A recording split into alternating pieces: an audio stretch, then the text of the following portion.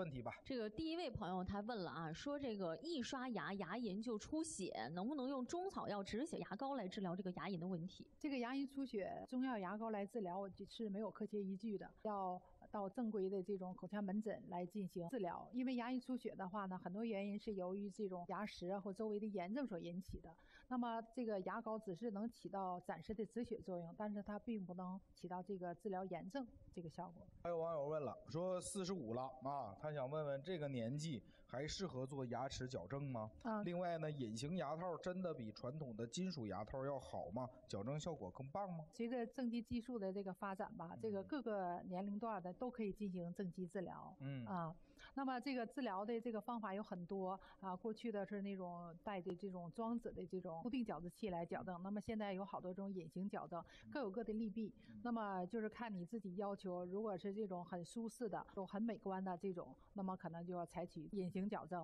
啊，那么现在小孩儿做的这种固定矫治器还是挺多的，就是每个人的需求不一样，另外价格也不一样，但是最终都是能达到这种矫正的目的。还有网友说自己父亲快八十了，又有高血压、糖尿病，那这种情况还能种牙吗？种牙就是看他的全身状态，关键是看他这个骨头这个情况，骨量是不是够啊？另外，身体比如说你是血糖啊比较高，要及时控制血糖。那么，比如说你是这种高血压，或者吃这种抗凝血这种药，比如说沙司匹林，抗凝血药一定要停掉来进行治疗。我可不可以这么理解？就是说种牙这件事情不要看年龄，嗯要靠你的身体素质能不能接受种牙这件事儿。首先就是骨量，然后就是是不是有三高。全对对对啊对，好的把这些都控制好了之后是可以进行治疗的。那这个缺牙之后，咱们镶这个烤瓷牙不是也能用很多年吗？那它跟这个呃种牙来相比的话，差在哪了？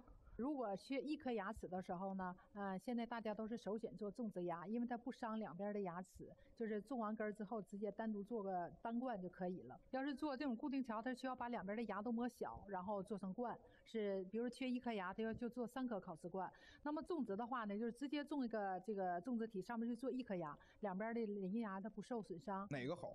要具体看患者的情况，如果两边邻牙都是好的，一点儿没有坏，也没有龋坏，那么就建议做种植。如果两边的牙都已经做过根管治疗了，或者是已经是坏牙了，又可以用，那么就建议做这个固定桥。如果说啊，就是拔牙之后没做这个烤瓷牙啊，也没有去种牙，就让它这么一直空着，这行不行呢？这种情况下的话呢，它就是咬合功能它会有损伤，比如说它咀咀嚼功能它咬不上，嗯那么对整个的这种食物的这种咀嚼、胃肠的吸收它会有影响。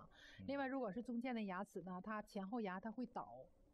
上面的牙呢会往下长，它伸长，所以把这个间隙啊，它会给填塞上。你比如说，有的患者呢，就是下牙，如果它长时间不相符，上牙就长到有的牙冠都可以咬到下牙的这个牙床子上，所以这个牙拔出之后呢，半年左右还是尽量早点镶上。夜磨牙带来的伤害挺大。